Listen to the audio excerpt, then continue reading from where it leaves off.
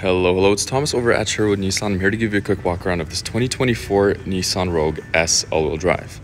As you can see, the body looks amazing on these. You do get your backup sensors with emergency braking, um, beautiful alloy rims as well. As you can see here, 17 inches, blind spot warning on your mirror, and then your front you have your forward collision warning.